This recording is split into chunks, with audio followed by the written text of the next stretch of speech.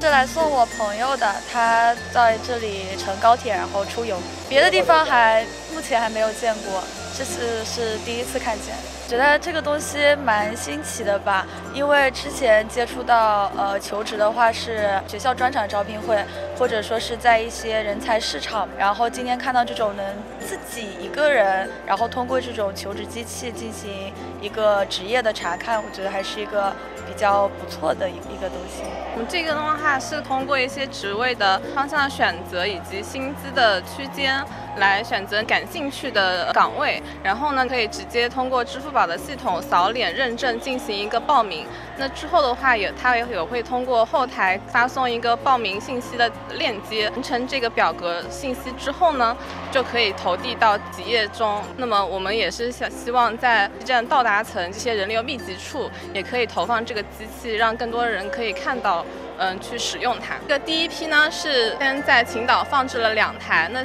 之后陆陆续续的在我们的出租车场东西两侧，嗯，也放置了求职机。到目前为止的话，已经有八千多份简历投递完成了。有很多就是可能在这个附近接送人的，在等待的过程中也会对这个机器产生好奇，以及路过的旅客也会想要去点击尝试一下。